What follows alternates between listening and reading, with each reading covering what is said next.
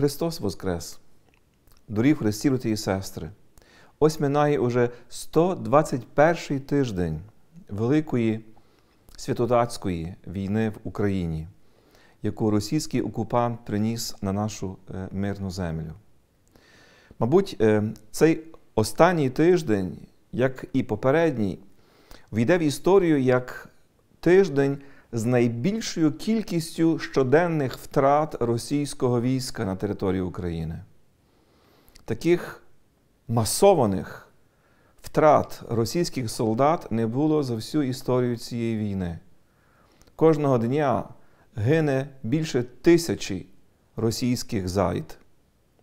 Україна героїчно стримує наступ на пір російських військ і не дозволяє ані на крок захопити більше нашої землі. Можна сказати, що українське військо своїми героїчними зусиллями зупинило Росію. Але росіяни намагаються все зробити, щоб чим побільше нанести шкоди нашим людям, мирному населенню, нашим містам і селам. Знову здригалися під російськими бомбами, ракетами, ударами Харків і Одеса, Запоріжжя і наша Сумщина. Своїми ракетними ударами систематично Росія продовжує нищити нашу енергетичну інфраструктуру. Побільшили часу відключення світла в наших містах і селах по цілій е, Україні.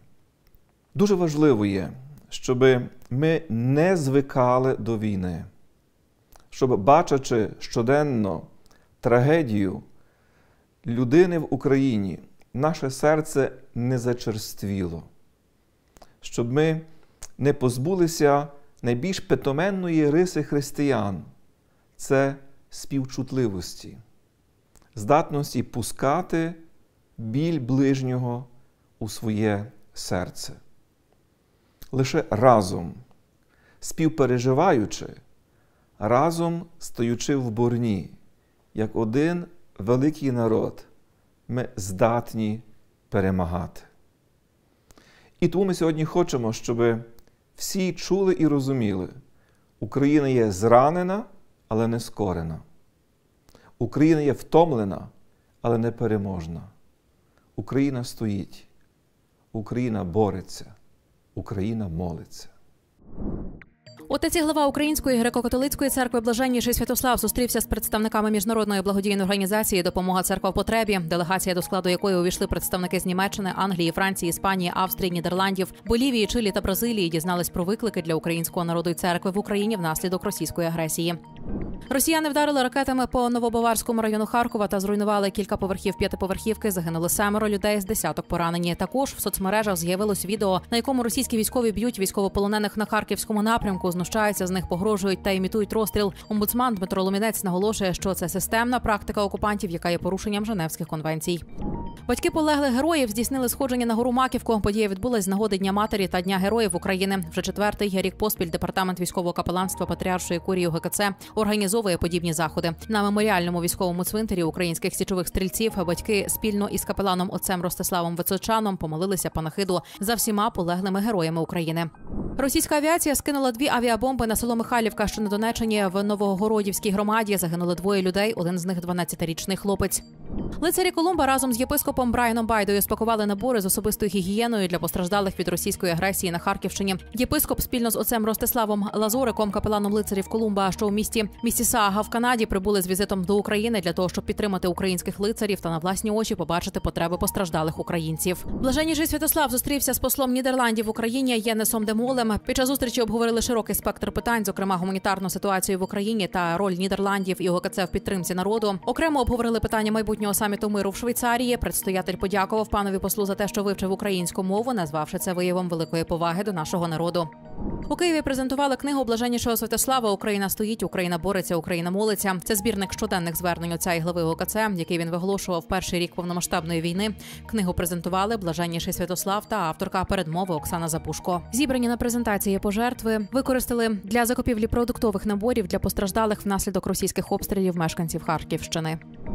Блаженніший Святослав зустрівся з послом Італії в Україні П'єром Франческо Дзадзо, який завершує свою дипломатичну місію в країні. Під час зустрічі обговорили низку важливих тем, зосередившись на ситуації в країні, душпастерстві церкви в умовах війни, ідеології руского міра, міжцерковних відносинах в Україні та світі і планах на майбутнє. Насамперед глава ГКЦ подякував італійській державі та народові за підтримку України у протистоянні російській агресії та надану допомогу. Пан Дзадзо зазначив, що його робота в Україні допомогла йому краще зрозуміти різницю між Україною та Росією, і він вважає своїм моральним обов'язком ділитися цим знанням зі світом, зокрема з італійцями. Цього тижня наші молитви, наша увага будуть прикуті до важливої події, яка проходитиме у Швейцарії. Ця подія вже знана у цілому світі як глобальний саміт миру. Сьогодні для всіх є очевидним, що зупинити війну в Україні, перемогти у цій війні лише військовим способом майже неможливо. Тому що всяка війна закінчується мирним договором, мирним урегулюванням протистояння між державами і між цивілізаціями.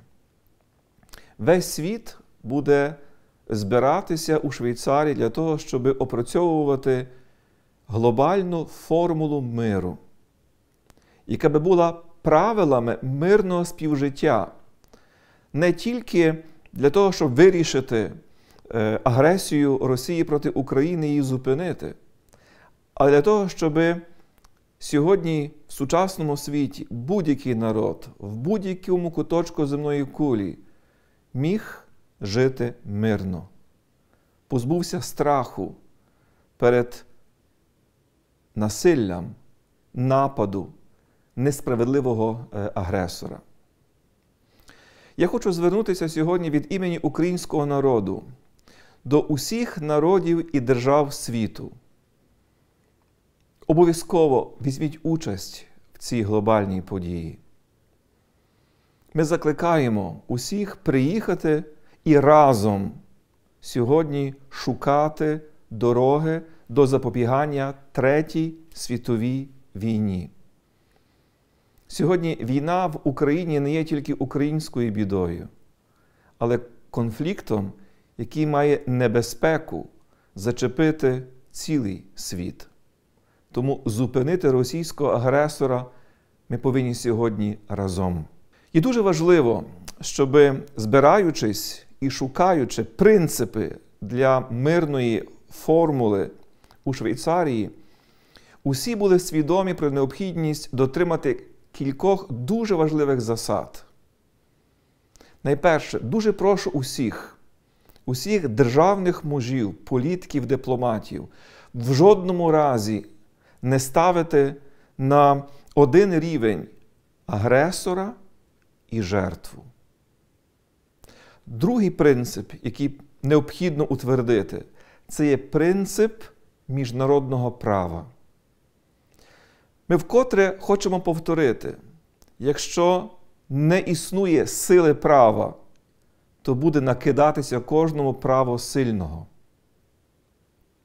І так важливо сьогодні е, не впасти в небезпеку так званого миру Чемберлена, який хотів чи хоче заміряти амбіції агресора, нехтуючи принципами міжнародного права. Нехай сьогодні це право буде фундаментом, основою, на якій можна базувати будь-яку іншу мирну угоду в сучасному світі, беручи до уваги гуманітарну безпеку, ядерну безпеку і всі інші елементи справжнього справедливого миру. Цього миру так чекає сьогодні Україна і український народ. Я хочу сьогодні закликати усіх християн цілого світу, незалежно від конфесії і того е, куточка землі, де ви сьогодні служите Богові і людям. Молімося разом за мир в Україні, у Європі і у цілому світі. Цей рік Папа Франциск проголосив роком молитви, коли ми готуємося до е, дуже особливого ювілею 2025 року. Ми так хочемо, щоб цей ювілей став роком миру для України і цілого світу. Давайте всі разом будемо цей рік особливо переживати в молитві е, за мир. Я хочу сьогодні звернутися до усіх християн, зокрема усіх українців, всіх вірних нашої церкви. Кожного дня о 8 годині вечора молімося разом для того, щоб цей саміт миру, який так потрібний сьогодні для України і світу, успішно відбувся. Молитва за мир є найпотужнішою силою, яка може розбити усі нечестиві задуми агресорів в будь-яких частинах сучасного світу. А наш Бог, Господь Ісус Христос, є нашим миром. Наш Господь є джерелом гармонії і миру між людьми і у цілому світі. Нехай Він поблагословить своїх дітей цим небесним миром. Боже, благослови Україну, благослови усіх людей доброї волі, які шукають миру, моляться за нього, для нього живуть, його будують, задля нього працюють. Боже, благослови українське військо, наших дівчат і хлопців на фронті, які є воїнами миру, тому що захищають мир наших мирних міст і сіл. Боже, благослови нашу батьківщину Твоїм справедливим небесним миром. Благословення Господні на вас, Його благодаттю і людинолюбієм завжди, нині, і повсякчас, і на віки віків. Амінь. Христос Воскрес, бо істину Воскрес!